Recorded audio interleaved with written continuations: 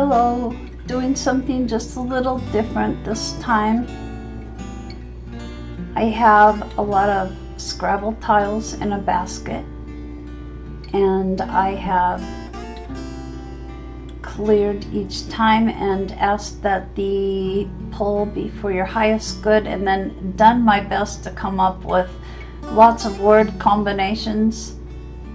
It's been a little tricky to figure out how to do that because I didn't want to film as I was struggling to figure things out. And so what I've done is just take pictures. When I came up with words they're not always in combinations that should be together but you know we can only have so many pictures. So this is how you can choose.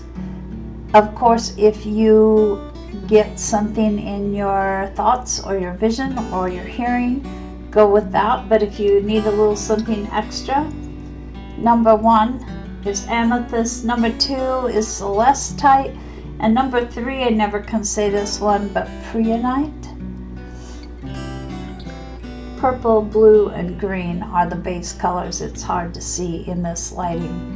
And then I also have cards. So for pile one, the card I have is this love and light, act with care. The number is 26, which combines into an 8 if you pay attention to numbers. For pile number 2, then glare, energy signature. The past is in the present. And for pile number three,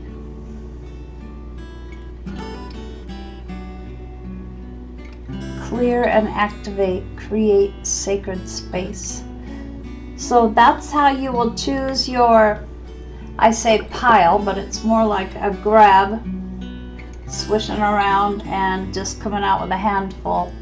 And hopefully there will be at least a few things that come up that you can consider messages for yourself. If you come up with other combinations or have a particular interpretation that you came to a conclusion on, I would very much appreciate reading about it in the comments.